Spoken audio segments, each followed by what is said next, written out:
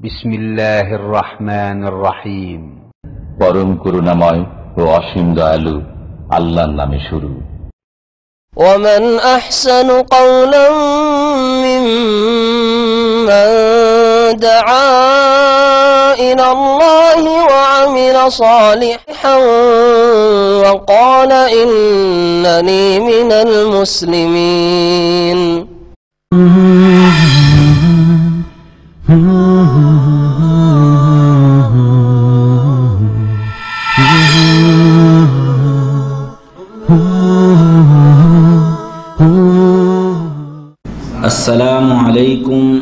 ورحمة الله وبركاته الحمد لله الذي هدانا لهذا وما كنا لنهتدي لولا أن هدانا الله والصلاة والسلام على رسول الله وعلى آله وصحبه ومن تبعهم بإحسان إلى يوم الدين أما بعد প্রশংসা মাত্রই সেই মহান রব্বুল আলমিনের জন্য যিনি আমাদেরকে আশরাফুল মখলুকাত করে সৃষ্টি করেছেন এবং এই বিশ্ব মানবতার হেদায়েতের জন্য যুগে যুগে অসংখ্য নবী ও রাসুল প্রেরণ করেছেন, দিয়েছেন তাদেরকে আসমানি কিতাব আর সেই সূত্রে মহান রব্বুল আলমিন আমাদেরকে আসমানি কিতাবের মধ্যে বা আসমানি কিতাব সমূহের মধ্যে সর্বশ্রেষ্ঠ আসমানি কিতাব আল কোরআনুল করিম দান করেছেন। এজন্য আল্লাহর শুক্রিয়া আদা করি। আলহামদুলিল্লাহ। সলাত ও সালাম বর্ষিত হোক আমাদের প্রিয় নবী মুহাম্মদ সাল্লাহ আলহি ওয়াসাল্লামের উপরে, যার উপরে এই আল কোরআন নাজিল হয়েছে। এবং যিনি এই আল কোরআনের বাণীকে মানুষের দ্বারে দ্বারে পৌঁছিয়ে দিয়েছেন তাই তো আমরা হাদিসে, ইতিহাসে পাই যে রাসুল করিম সাল্লাহ আলহি যখন বিদায় হজে গিয়েছিলেন, তখন লক্ষাধিক সাহাবিকে তিনি সামনে নিয়ে বলেছিলেন যে ওয়াইন্নাকুম তুস লাতুস আলু না আননি। তোমরা আমাদের, তোমরা আমার সম্পর্কে জিজ্ঞাসিত হবে। তোমাদেরকে জিজ্ঞাসা করা হবে, আমার সম্পর্কে যে আমি কি আমার দায়িত্ব পালন করেছি? হাল বাল্লাগতু মানে আমার উপরে যে নবুয়ত ও রেসালাত আল্লাহ দিয়েছিলেন, মানুষের কাছে পৌঁছে দেওয়ার দায়িত্ব দিয়েছিলেন, সেটা কি আমি পালন করতে পেরেছি? তখন লক্ষাধিক সাহাবি সমস্যরে বলেছিলেন বালাকাত বাল্লাগত। হ্যাঁ অবশ্যই আপনি আপনার দায়িত্ব পৌঁছে দিয়েছেন। তখন রসুল সাল্লাহ আলাইসাল্লাম তার শাহাদাত আঙ্গুলি একবার আকাশের দিকে ইশারা করছিলেন, একবার জনগণের দিকে। এবং বলছিলেন যে, হে আল্লাহ, তুমি সাক্ষী, সাক্ষ্য থাকো বা সাক্ষী থেকো যে এই লক্ষাধিক সাহাবি তারা সাক্ষ্য দিয়েছে যে আমি পৌঁছে দিয়েছি। আল্লাহম্মা ফসাদ আল্লাহম্মা ফসাদ আল্লাহম্মা ফসাদ আল্লাহ, তুমি সাক্ষী থাকো সাক্ষী থাকো সাক্ষী থাকো। যে আমি আমার উপর অর্পিত নবুয়ত রেসালাতের দায়িত্ব আল কোরআনুল করিম এটা মানুষের কাছে পৌঁছে দিয়েছি।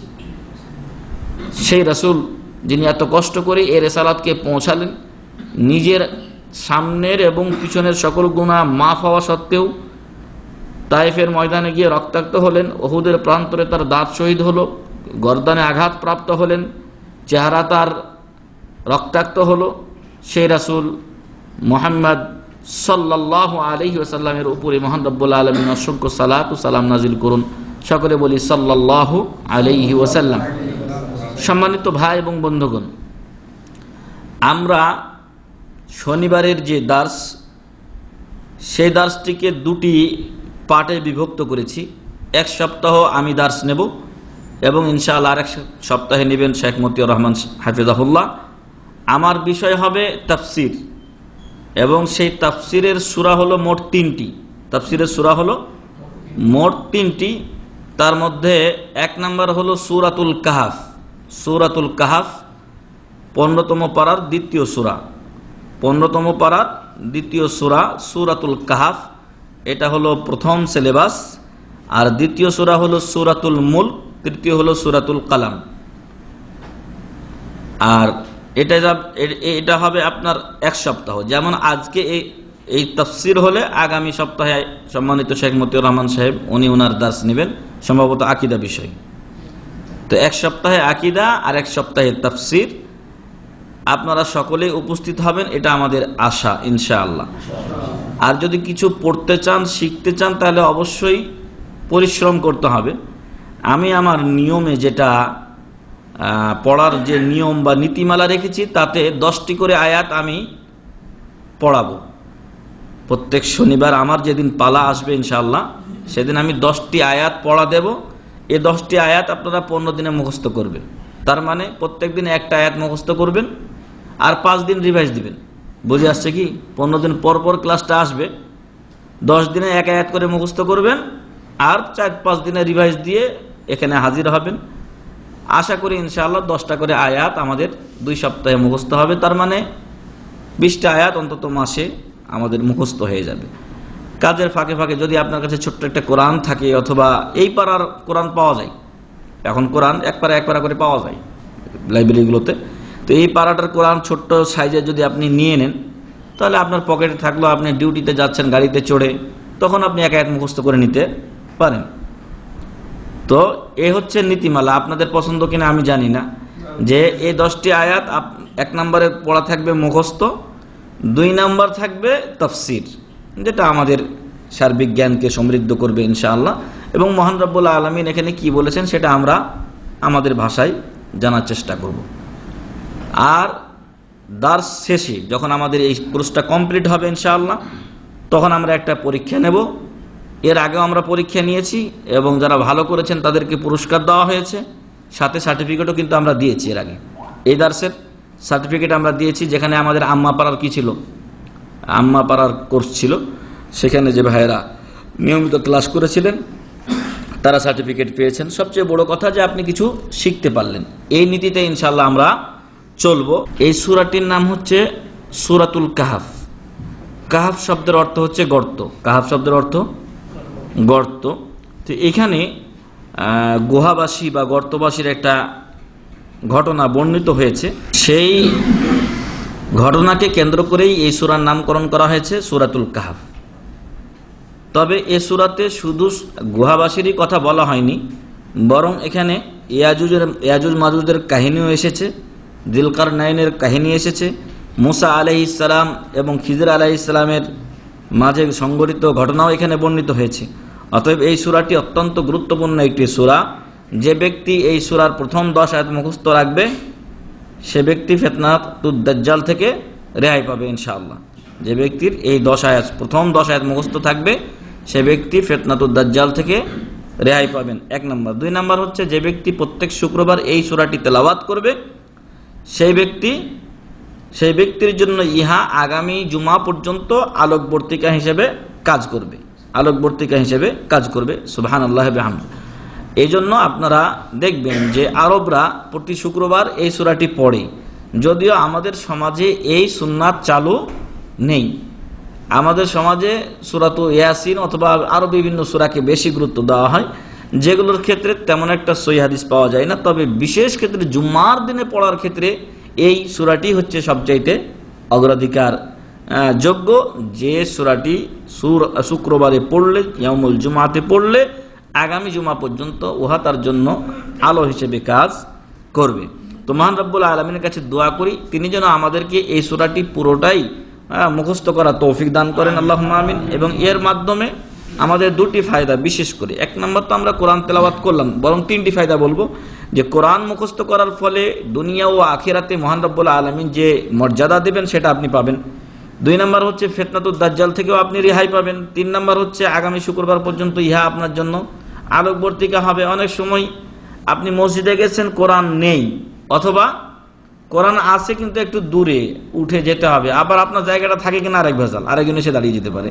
তো এই ভেজালগুলো থেকে মুক্ত হতে এবং দ্রুত পড়তে যদি আপনি ওই কোরআন নিয়ে এসে দেখে দেখে পড়েন, সময় লাগবে।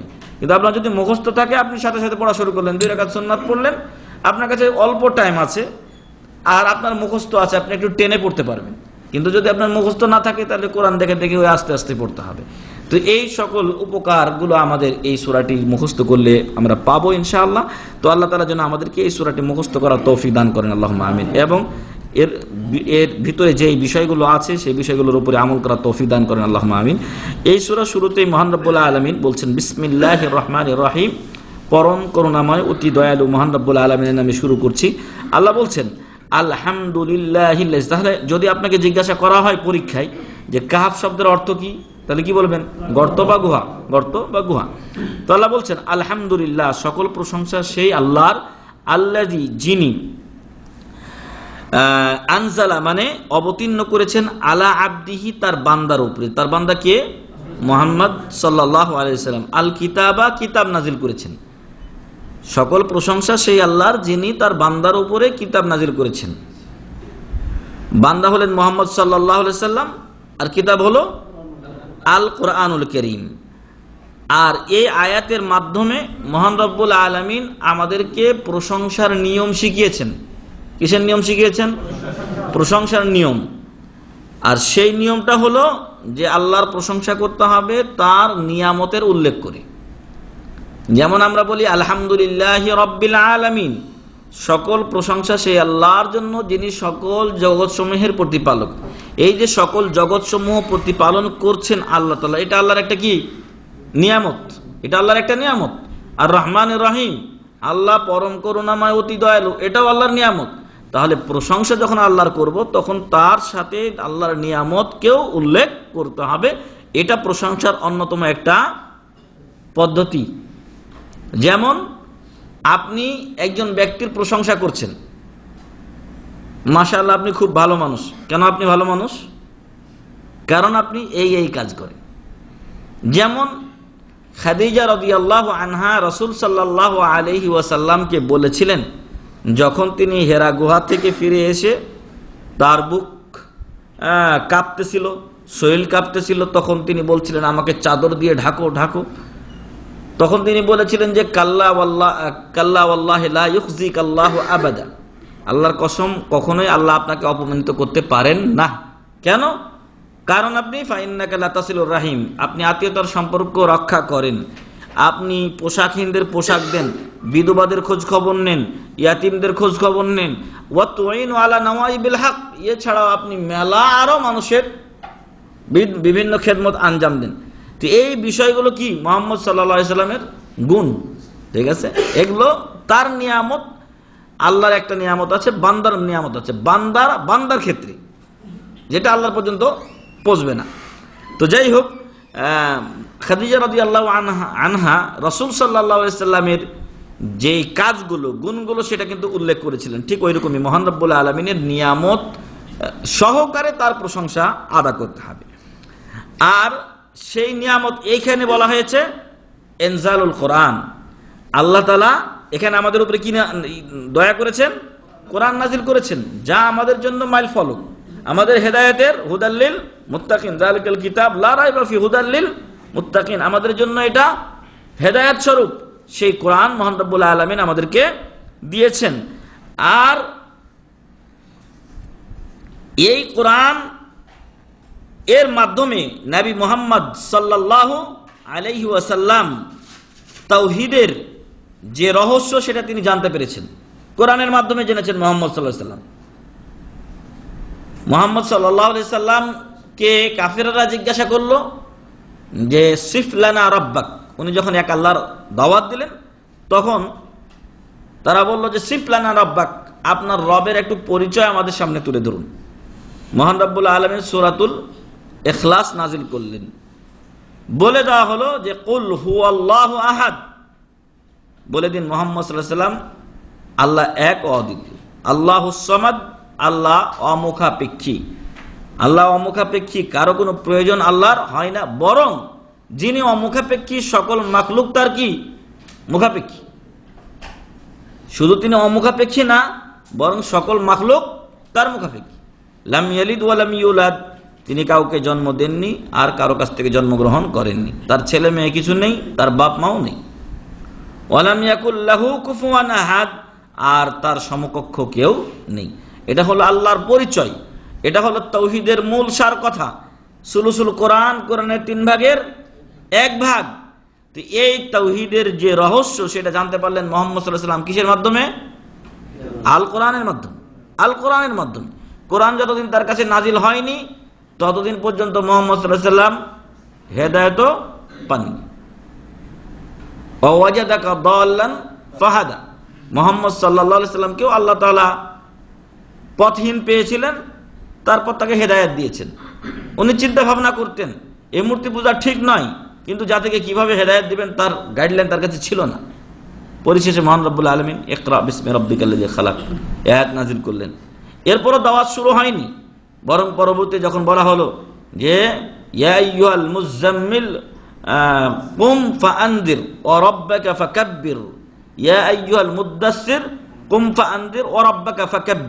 তারপরে সূরা মুজাম্মিলের ঘটনাও এসেছে। তো যাই হোক, তারপরে তখন তিনি আস্তে আস্তে দাওয়াত শুরু করলেন। তো যে কথা আমি বলছিলাম যে, কোরআনের মাধ্যমে নবী মোহাম্মদ সাল্লাহ আলহি ওয়াসাল্লাম কি পেয়েছেন? তাওহিদের দিশা পেয়েছেন। আম্বিয়া। পূর্বের নবীদের যে ঘটনা বলি, জানতে পেরেছেন মোহাম্মদ সাল্লাহ সাল্লাম কিসের মাধ্যমে? কোরআনের মাধ্যমে। এবং ফেরেস্তাদের যে ঘটনাবলী বলা হয়েছে, বা যে নামগুলো বলা হয়েছে কোরআনে, বা তাদের কিছু কেসা কাহিনী বলা হয়েছে, সেগুলো কোরআনের মাধ্যমে জানতে পেরেছেন মোহাম্মদ সাল্লাহ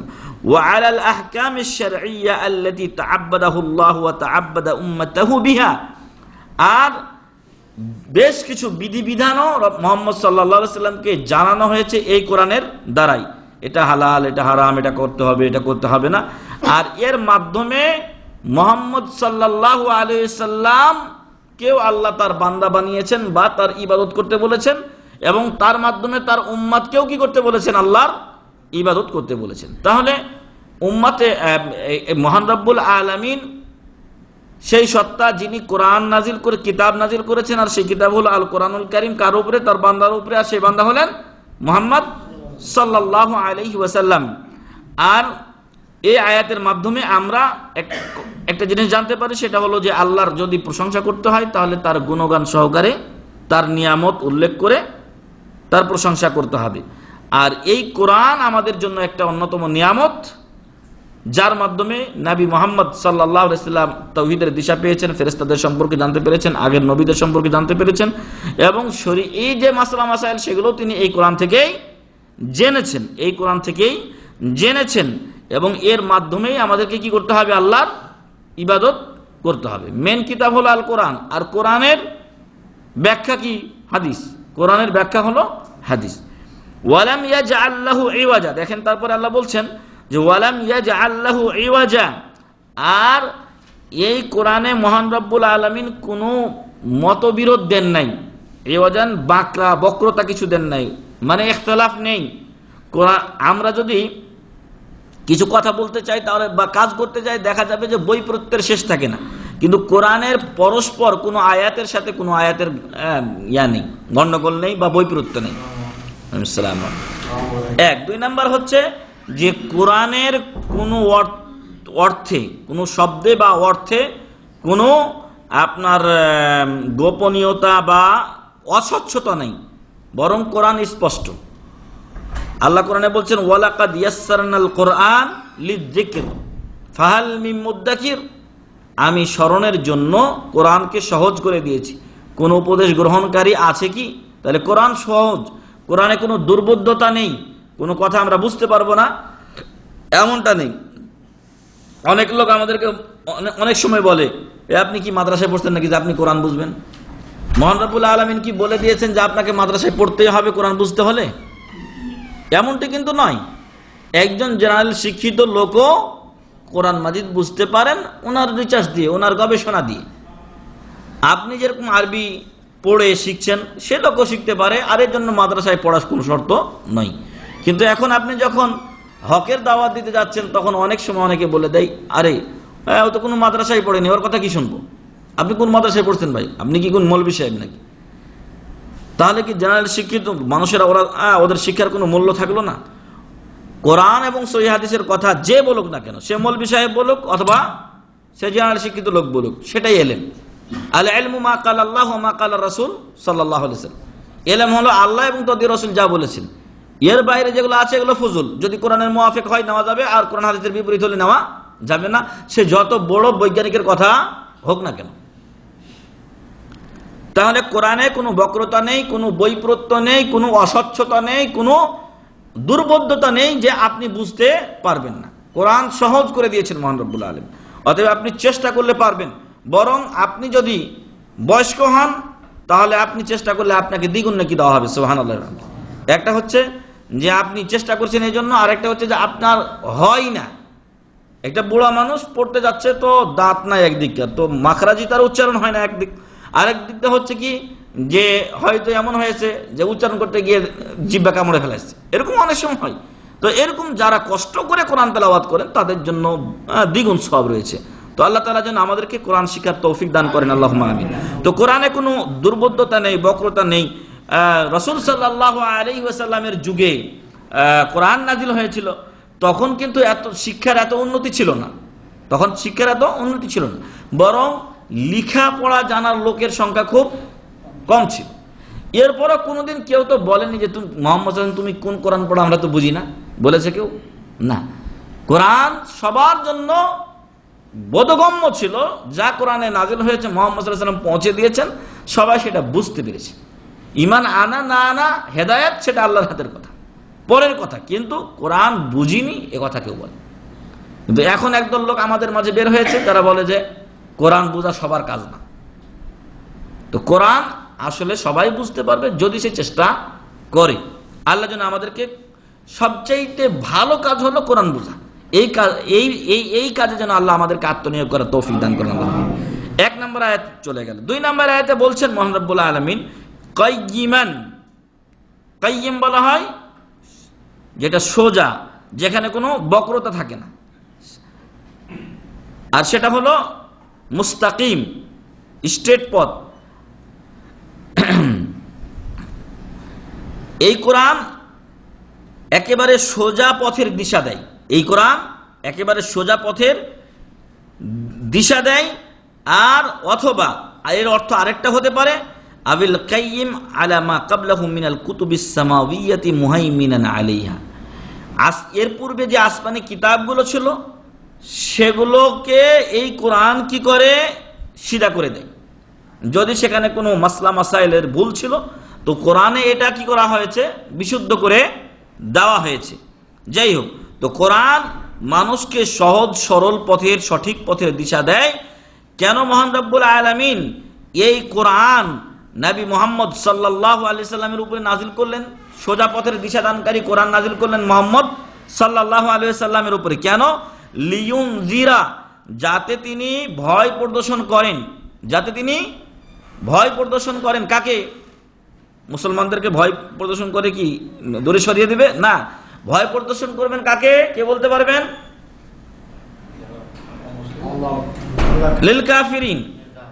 কাফেরদেরকে যাতে ভয় প্রদর্শন করেন। আর যারা তার উপরে ইমান এনেছে মোমিন- মুসলিম, তাদেরকে বাসির সুসংবাদ দিবেন। তাদেরকে সুসংবাদ দিবেন। সতর্ক করবেন কাকে? কাফেরকে। শাদীদা। বাসুন হচ্ছে আযাব। বাসুন মানে কি? আযাব, শাদীদ মানে কঠিন। যাতে সতর্ক করে দেন কাফেরদেরকে বাসান শাদীদা কঠিন আযাব সম্পর্কে মিল্লাদুন, বাসান শাদীদা মিল্লাদুনহু। আর এই যে কাইয়িমান আল কোরআনুল করিম সঠিক পথের দিশাদানকারী, এটা নাজিল হয়েছে মিল্লাদুনহু মহান রব্বুল আলমিনের পক্ষ থেকে। কার পক্ষ থেকে? মহান রব্বুল আলমিনের পক্ষ থেকে। ويبشر المؤمنين الذين يعملون الصالحات أن لهم أجرا حسنا আর সাথে সাথে এই কোরআনের মাধ্যমে মহান রব্বুল্লাহ আলমিন মোহাম্মদ সাল্লাহ সাল্লামকে দিয়ে সুসংবাদ দেন কাকে মুমিনী মুমিনদেরকে আল্লাদিনা ইয়ামালুন সালেহাত ওই মুমিন যারা সৎকর্ম করে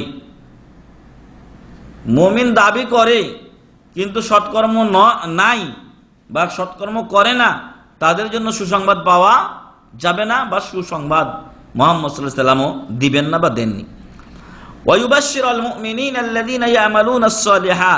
এবং সুসংবাদ দেন মমিনদেরকে যারা সৎকর্ম করে। কি সুসংবাদ? হাসানা, তাদের জন্য পুরস্কার রয়েছে হাসান মানে উত্তম। তাদের জন্য উত্তম পুরস্কার রয়েছে, ওয়াহুয়াল জান্নাত সেটা কি? জান্নাত। আর হাসানা যে বলা হয়েছে উত্তম পুরস্কার, কারণ জান্নাতে যা কিছু আছে সবই হাসান। জান্নাতে খারাপ কিছু নেই, কোনো খারাপ কিছু নেই।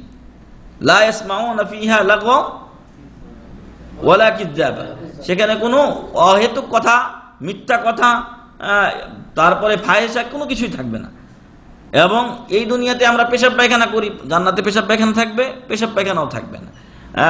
এই জান্নাতের যারা হুর হবে, তাদের যে নাখা, মা নাক দিয়ে যে ছিটকানি আসে বা ময়লা আসে, সেগুলোও থাকবে না।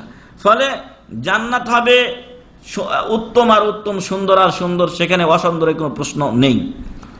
তাহলে এই আয়তের শুরু থেকে আল্লাহ তালা বললেন, কাইমান কোরআন সিদা পথ দেখায় তারপরে এই কোরআন আল্লাহ নাজিল করলেন, তার বান্দা মোহাম্মদ সাল্লাহ সাল্লামের উপরে তার পক্ষ থেকে। মিল্লাদনু, তার পক্ষ থেকে কেন লিউনদিরা যাতে তিনি ভয় প্রদর্শন করেন কাদেরকে? কাফেরদেরকে। কিসের ভয়? বাসান শাদিদান, আই আজাবান শাদিদা। কঠিন আজাবে কঠিন আজাবের ওয়াইবাশির আল মুমিনিন আল্লাযীনা ইয়ামালুনা আস-সালিহাতি আন্না লাহুম আজরান হাসানা এবং সুসংবাদ দেন মুমিন বান্দাদেরকে যারা সৎকর্ম করে যে তাদের জন্য উত্তম পুরস্কার রয়েছে। আর সেটা হলো জান্নাত, যার সবকিছুই উত্তম, যেখানে খারাপের কোনো প্রশ্ন নেই বা স্থান নেই। এরপরে মহান রব্বুল আলামিন বলছেন যে, মা কিসিনা ফিহা, ফিহি আবাদা, মা কিসিনা ফিহি আবাদা। মাকাসা ইয়ামকুসু মানে অবস্থান করা। মাকাসা ইয়ামকুসু মানে অবস্থান করা। তো মা কিসিনা সেখানে তারা অবস্থান করবেন। এই জান্নাতবাসী যারা জান্নাতে যাবেন, সেখানে তারা অবস্থান করবেন। ফিহি মানে ফিল আজর। তাদেরকে আল্লাহ যে পুরস্কার দিবেন, আর সেই পুরস্কারটা কি? জান্নাত বলেছে আগেই। তো সেই জান্নাতে তারা অবস্থান করবেন কতদিন? আবাদা অনন্তকাল লাইন কাতা আলাহু। তার কোনো কি হবে না? বিচ্ছিন্নতা হবে না। যেমন আল্লাহ তালা আর একাইতে বলছেন যে লাহুম আজরুন গাইরু মামনুন। তাদেরকে এমন পুরস্কার দেওয়া হবে যা কোনোদিন বিচ্ছিন্ন হবে না। গাইরু মাকতু ওটা কেটে যাবে না। এমন নয় যে আজকে আপনার স্যালারি দুশো টাকা বাড়িয়ে দিল আল্লাহ জানে কখন যে কেটে দেয় আবার। আমাদের মুদির একবার চালাকি কইরা একশো- একশো রিয়াল বেতন বাড়াইলো আর একশো রিয়াল কি বাড়াইলো জানেন? আড়াইশো রিয়াল বাড়াইলো ওই যে আপনার কি জানো আলাওয়াত জিনিসপত্রের দাম বেড়ে গেছে। হ্যাঁ ফুড অ্যালাউন্স কখন যে এটা কাটে আল্লাহ আলাম। এটা কিন্তু ওদের হাতে রেখে দিছে, যে কথা আমি বলছিলাম। তো জান্নাত এমন জিনিস যা কোনোদিন কেটে যাবে না। যে জান্নাতে যাবে চিরস্থায়ী জান্নাতে যাবে। মা কিসি নাফিহি আবাদা। এবং আমরা বলেছি ভীতি প্রদর্শন করেন, ভয় প্রদর্শন করেন কাদেরকে? তাদেরকে যারা কালু বলে মিন আল্লাহ তাআলা কি করেছেন? সন্তান গ্রহণ করেছেন। এই লোকদেরকে কেন, যেন মোহাম্মদ কি করেন? ভয় প্রদর্শন করেন কিসের? বাসান শাদিদান কঠিন আজাবের ভয় প্রদর্শন করেন। যারা কি বলে? ইত্তাখাদাল্লাহু আলাদা আল্লাহ সন্তান গ্রহণ করেছেন। এরা কারা? মুশরিকরাও। ইয়াহুদি, খ্রিস্টান, মুশরিক। কুফারে কুরাইশ বলেছিল, আল মালাইকাতু বানাতুল্লাহ। আল মালাইকাতু বানাতুল্লাহ, ফেরেশতারা কার? মেয়ে, আল্লাহর মেয়ে, নাউজুবিল্লাহ। এই কথা বলেছে কুফারে কুরাইশ। তাহলে তিনটা দল। যারা বলেছে আল্লাহ সন্তান গ্রহণ করেছে, তারা কয় দল? তিন দল। মনে রাখবেন, এটা একটা প্রশ্ন।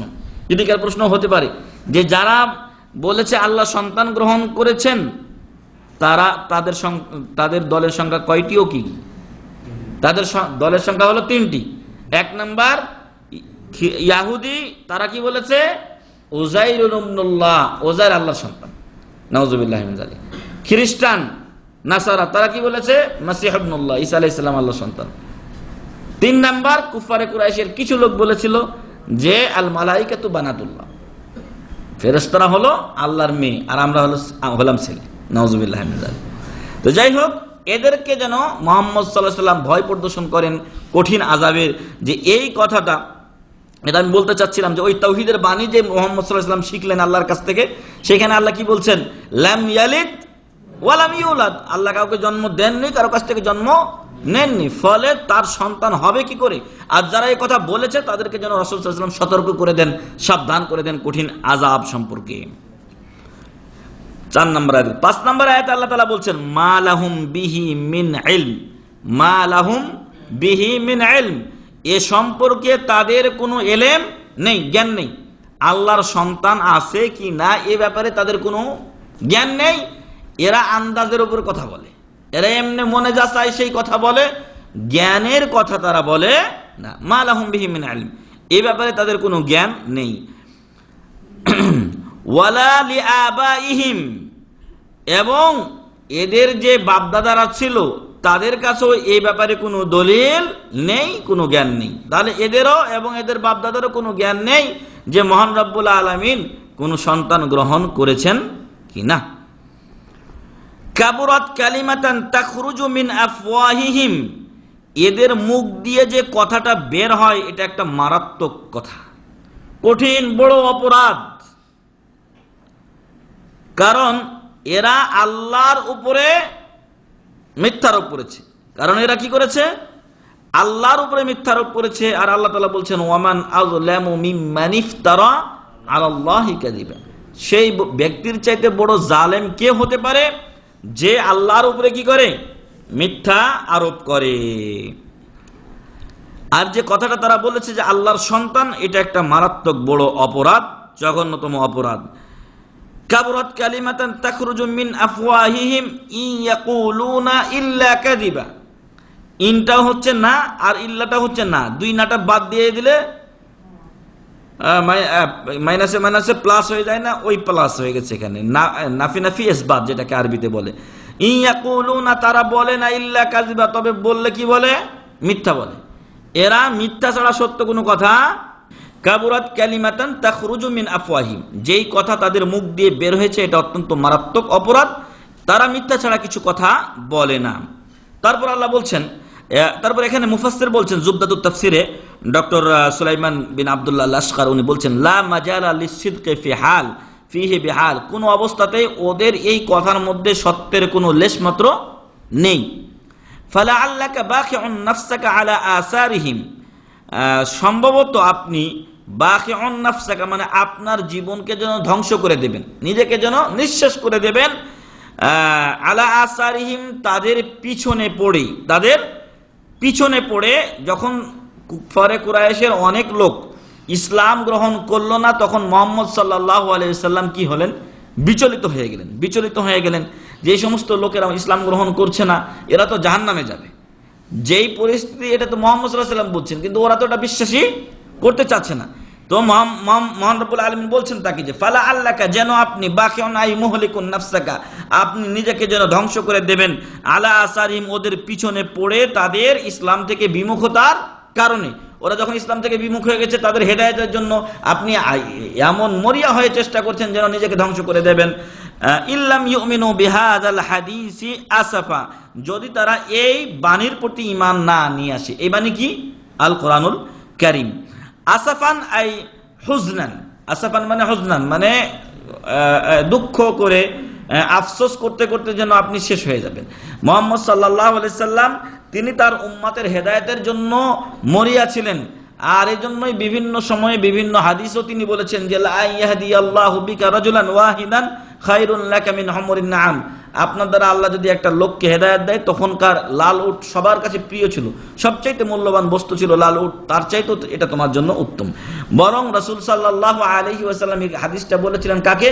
আলী বিন আবি তালিব রাদিয়াল্লাহু আনহুকে। খাইবারের যুদ্ধে যখন বিজয় হচ্ছিল না, তখন তিনি বলেছিলেন যে, গাদান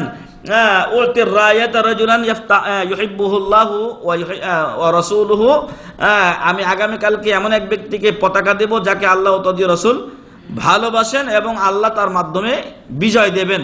তো কয়েকজন সাহাবী বলছেন যে আমাদের নেতৃত্বের কোনোদিন কি ছিল না? অভিলাষ ছিল না বা আমাদের কোনো ইচ্ছা ছিল না, লোভ ছিল না। কিন্তু ওই দিন আমাদের মনে সেই আকাঙ্ক্ষা চলে আসে। কেন? কারণ রসুল সাল্লাহ সাল্লাম বলেছিলেন যে আল্লাহ তাকে ভালোবাসে, রসুলও তাকে ভালোবাসেন, তার মাধ্যমে ইসলামের বিজয় হবে, এটাও একটা কারণ ছিল। তো যাই হোক, সর্বোপরি অনেক সাহাবি সেদিন আশ- আশঙ্কা করেছিলেন যে হয়তো আমাকে সেই পতাকাটা দেওয়া হোক, তাহলে আমি ধন্য হব।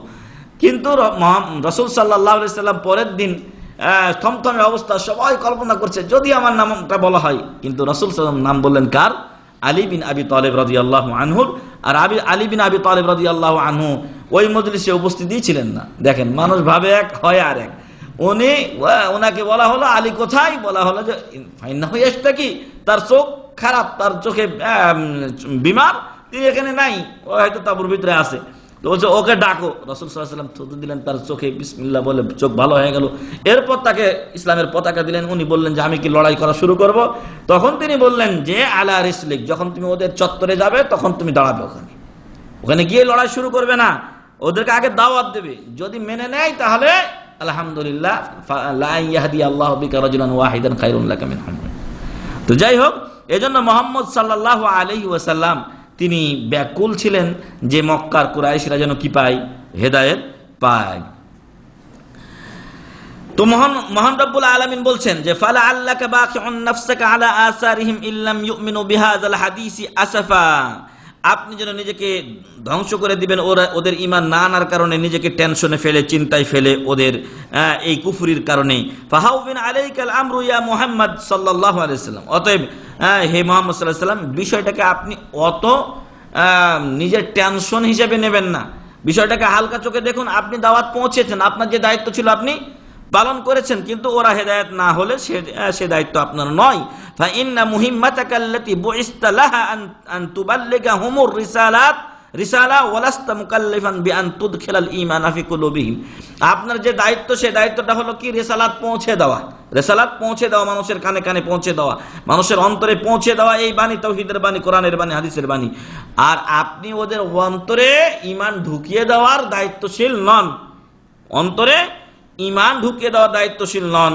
ফালা ফালা তাতালাফা নাফসাকা হাসরাতান আলা কুফরিহিম। অতএব আপনি তাদের জন্য আফসোস করে আপনার জীবনকে বিনাশের পথে নিয়ে যাবেন না। তারপর সাত নম্বর আয়াতে মোহান রাব্বুল আলামিন বলছেন, ইন্না জাআলনা মা আলাল আরদে জিনাতাল্লাহা আমি এই জমিনের উপরে যা দিয়েছি, পৃথিবীর বুকে যাই আছে এগুলো পৃথিবীর জন্য সৌন্দর্য।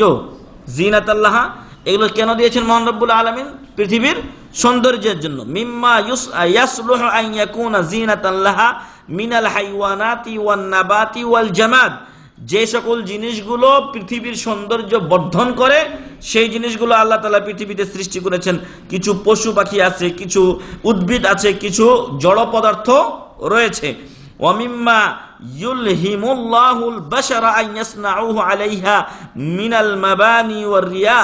এবং এর সাথে সাথে মহান রব্বুল আলামিন মানুষদেরকে এলহাম করেছেন, মানুষের অন্তরে গেঁথে দিয়েছেন যে বিভিন্ন বিল্ডিং বিল্ডিং করা, প্রাসাদ করা।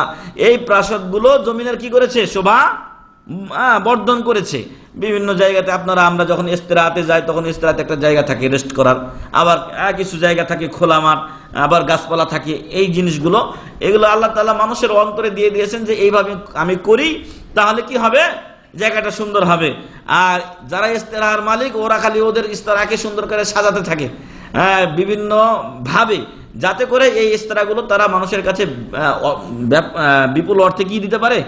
ভাড়া দিতে পারে, যেটার কিছু অভিজ্ঞতা আমাদের ভাই জাকিরের আছে, কারণ তার কবিলের অনেকগুলো এরকম ইস্তারা আছে। যাই হোক, তো মোহান রব্বুল আলমিন এই জমিনের উপরে যা দিয়েছেন, তার জমিনের সৌন্দর্য বর্ধনের জন্য। আর সেগুলো হতে পারে পশু পাখি উদ্ভিদ ঘাসপালা এবং কিছু জড় পদার্থ, সাথে সাথে মানুষ, মানুষের মাধ্যমে মহান রব্বুল আলমিন যে সকল বিল্ডিং এবং অন্যান্য অট্টালিকা তৈরি করছেন, সেগুলো এই জমিনের আপনার ইয়া শোভাবর্ধন করে চলেছে। কেন আল্লাহ তালা এগুলো করলেন? লিনাবলুয়াহুম আইয়ুহুম আহসানু আমালা। যাতে আমি পরীক্ষা করে নেই যে তাদের মধ্যে কে সবচেয়ে উত্তম আমল করে। লক্ষণীয় বিষয়, বেশি আমল করার কথা বলা হয়নি। উত্তম আমল করার কথা বলা হয়েছে। যদি উত্তম হয়, সাথে বেশি হয়, আহলান ওয়াসাহলান কিন্তু মেলা বেশি কিন্তু আহসান নয়। আহসান কোনটা হবে? যেটা মোহাম্মদ সাল্লামের সুন্নাত মোতাবেক হবে, সেটাই আহসান আমল হবে। আর সেটা যদি কম পরিমাণও হয়, তদুপরি সেটা আল্লাহর কাছে প্রিয়, বেশি লাইনবিহীন আমল থেকে। একটা লোক আমাদেরই জানা, আমাদের একদিনই ভাই অনেক টাইলস লাগাইছে। কিন্তু বেলানে লাগাইছে। মানে যেইভাবে চাইছিল কোম্পানি ওইভাবে হয়নি। ফলে কোম্পানি কি বলছে যে, না, তোমার এটা হবে না, এটা আবার ফিরে লাগাও। ফিরে লাগা নাই, ওর বাজেটও বাতিল হয়ে গেছে। তার মানে বিশাল লসে পড়ে গেছে। তো আমি যে কথা বলছিলাম যে, অনেক না লাগিয়ে যদি অর্ধেকেও লাগাতো আর তার টাকাটা পেতো তাহলে তো সে লাভবান হতো। এই জন্য যে বেশি কাজ করলাম কিন্তু ঠিক হলো না, ওর চাইতে ভালো হলো যে, অল্প কাজ করি, ঠিক মতো করি। আপনি পরীক্ষায় বিশটা প্রশ্ন এসেছে, বিশটাই উত্তর দিয়েছেন, কিন্তু একটাও ঠিক মতো হয়নি। গিয়ে আপনার জন্য পাশে টানাটানি। কিন্তু একজন, সে বিশটা টাচ করতে পারে না সে পনেরোটা লিখেছে, কিন্তু মিয়া মিয়া লিখেছে। এই লোক এমনি পঁচাত্তর আশি পেয়ে পাস করে যাবে বা আপনার যেটা আগে ছিল যে এ গ্রেড বা এরকম কিছু পেয়ে যাবে। তো যে কথা আমি বলছিলাম যে মহান রব্বুল আলমিন বলছেন লিনাব লুয়াহুম আইয়ুহুম আহসানু আমালা। যে তাদের মধ্যে কে অধিক উত্তম আমলকারী? লিনাম আমালান ওয়া উতিয়া মিনাল মালি ওয়াল এবং মহান রব্বুল আলমিন যেন পরীক্ষা করে নেন যে তাদেরকে আমি যেই দুনিয়াতে সৃষ্টি করেছি, দুনিয়াতে যে সম্পদ দিয়েছি, এই সম্পদের যোগ্য কে এবং কে এগুলোকে ক্ষমতার যোগ্য কে অন্যান্য বিষয়ের যোগ্য, এটা যেন আমি পরীক্ষা করে নেই। এক। দুই নাম্বার হচ্ছে কি যে এই দুনিয়াতে আল্লাহ পরীক্ষা করে নেবেন যে, দুনিয়ার কাজগুলো ভালো না পরকালের কাজ ভালো? দুনিয়ার কাজ, এটা মানুষ করলে দুনিয়াতেই তাকে এগুলো রেখে যেতে হবে। আর যারা পরকালের কাজ করবে, তারা পরকালে গিয়ে এগুলো পাবে। তাহলে পৃথিবীর বুকে মহান রব্বুল্লাহ আলমিন যা কিছু সৃষ্টি করেছেন তা সৌন্দর্য বন্ধ- বর্ধনের জন্য বা শোভা বৃদ্ধির জন্য, সাথে সাথে এই পৃথিবীর যা কিছু আল্লাহ দিয়েছেন সব মানুষকে পরীক্ষা করার জন্যই করেছেন। আর এই জন্যই আল্লাহ তালা আমাদেরকে সৃষ্টি করেছেন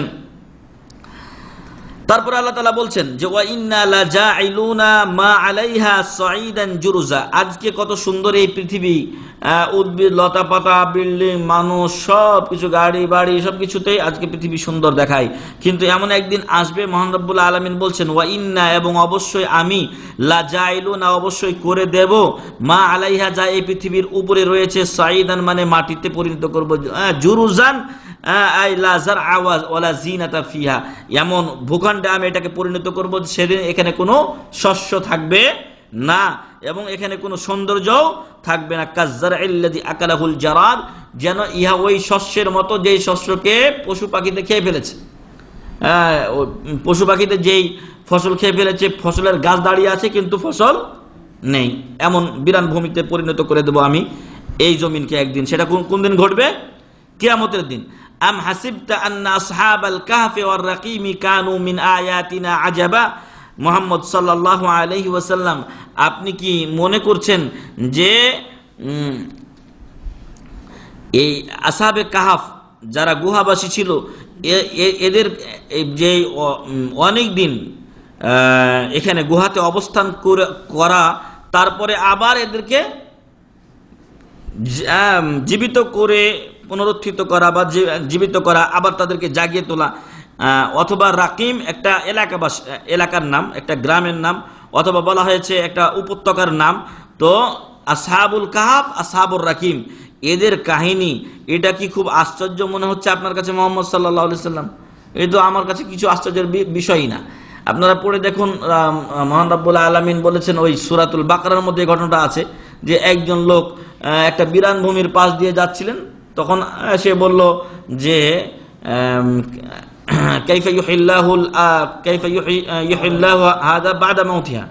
আল্লাহ তালা এটাকে এই বিরান ভূমিতে পরিণত হওয়ার পরে কীভাবে আবার এটাকে জীবিত করবেন? মহান রব্বুল আলমিন ফামাতাহুল্লাহ মিয়াতা আমিন। আল্লাহ ওকে একশো বছর মরে রাখ, মরা অবস্থায় রাখলেন।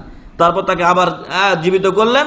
তারপরে তার ঘোড়া টোড়া দেখে সব মরে টরে শেষ, তারপর হঠাৎ করে আবার এগুলোকেও আল্লাহ তালা জমা তার জন্য জমা করে দিলেন এবং নতুন রূপে সৃষ্টি করলেন। তখন তার বিশ্বাস হলো যে এগুলোকে কে সৃষ্টি করতে পারে আবার পুনরায়? তিনি হলেন মহান রব্বুল আলমিন। তো মহান রব্বুল আলমিন মোহাম্মদ সাল্লাহ সাল্লামকে বলছেন, আম হাসিব তান্না সাহাব আল কাফে ওর রাকিমি কানু মিন আয়াতিনা আজাবা? যে আপনি কি মনে করেছেন যে কাহাফে, গুহাবাসীর ঘটনা এবং রাকিম উপত্যকায় অথবা গ্রামবাসীর ঘটনা এটা আশ্চর্যজনক কিছু? ইদ আওয়াল ফিতিয়াতু ইলাল কাফে ফাকালু রব্বানা আতিনা মিন লাদুনকা রাহমাহ ওয়া মিন আমরিনা রশাদা। ইদ মানে যখন আওয়া মানে আশ্রয় নিয়েছিলেন, আল ফিতিয়া মানে কয়েকজন যুবক। ফাতাতুন, ফাতাতুনের বহুবচন ফাতার বহুবচন হচ্ছে ফিতিয়াতুন।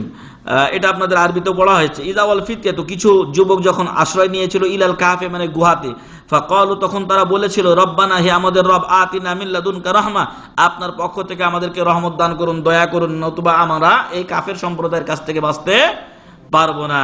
ও মিন আমরিনা রসাদা এবং আমরা যে পথে আছি, সেই পথটাকে আমাদের জন্য কি করে দিন?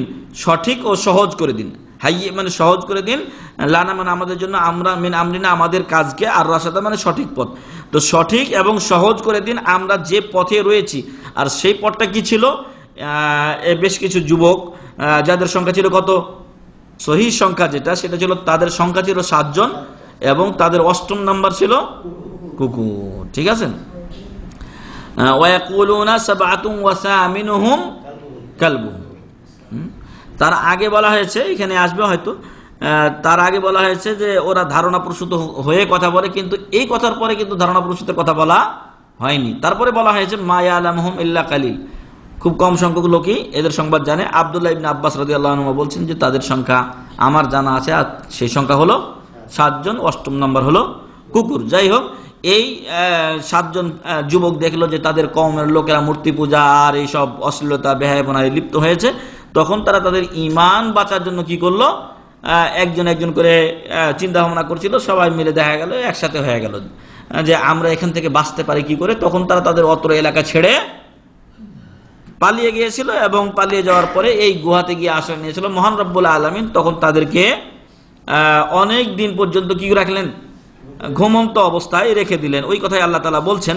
যে ঈদ আওয়াল ফিতিয়াতু হুম আসহাবুল কাব যখন মোহান রব্বুল আলমিন যখন কিছু যুবক আর তারা হলো গুহাবাসীরা আশ্রয় নিয়েছিল, ফাকাল একটা গুহাতে, ফাকাল তারা বলেছিল, রব্বানা আতিনা মিল্লাদুনকা রাহমা, আই মিন ইনদাকা রাহমাতান মুখতাসসা আপনার পক্ষ থেকে খাস রহমত আপনি আমাদেরকে দিন।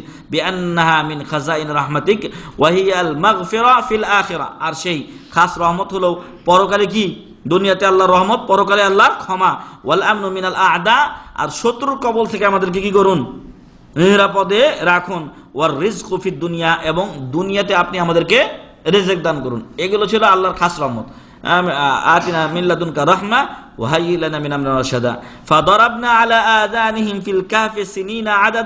মহান বলছেন যে আমি বন্ধ করে দিলাম আলা আযানিহিম, তাদের কানকে আমি তাদের কানকে বন্ধ করে দিলাম। সাদ্দাদনা আযানাহুম বিন নাউমিল গালিবি আন সিমাইল আসওয়াত বিভিন্ন আওয়াজ বাইরের হ্যাঁ, চেঁচু গন্ডগোল ইত্যাদি।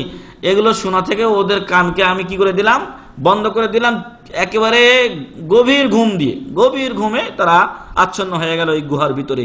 সিনিনা আদাদা আই কাসিরা। অর্থাৎ অনেক বছর অনেক বছর মালুমাতুল আদাদের সংখ্যা জানা আছে। ওয়াতি বায়ান হুফি নিহায়াত কিসসা। এই কিসসার শেষে সেই সংখ্যাটা আসবে। সেই সংখ্যাটা আসবে। সুম্মা বাস না হুম অতপর আমি আবার আবার তাদেরকে ওই গভীর ঘুম থেকে জাগ্রত করলাম।